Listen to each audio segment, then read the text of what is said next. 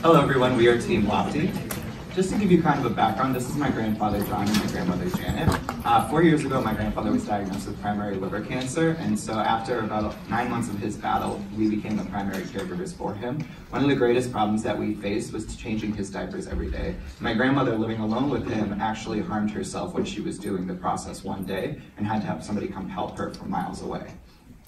So one of the greatest challenges is getting your hands under the person and rotating them on their side so you can throw out your back.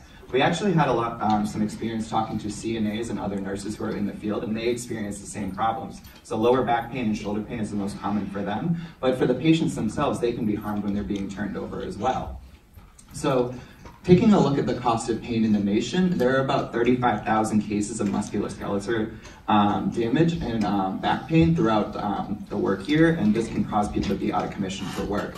So typical workers' compensation for these people would be about 15,000, and that's generating half a billion dollars worth of money that's being lost. Oh, sorry. And so we're focusing on changing the high rate of, you know, caregiver incidents of being harmed and making it more safe for the dependent patients as well as the caregivers doing this. So we did some market research to see what's currently out there addressing this problem, and we found the lateral rotation air mattress. And so while this is a great solution for rotating patients on their side, it does have multiple shortcomings, notably that it's very expensive, it's around $3,000, it doesn't support the patient sitting upright position, and it doesn't support reaching under the patient. So we decided to come up with our own solution. And so we came up with the Lofty, which is a air mattress topper that goes on top of existing hospital beds. And it is fully modular with different air circuits that can be inflated and deflated independently of each other through software. So I want to show you a few configurations that we'd utilize. So the first is for patients with the diapers that need to be extracted. So here we've deflated the modules underneath the patient's pelvic region, which allows the nurse or caretaker to reach under and extract the diaper.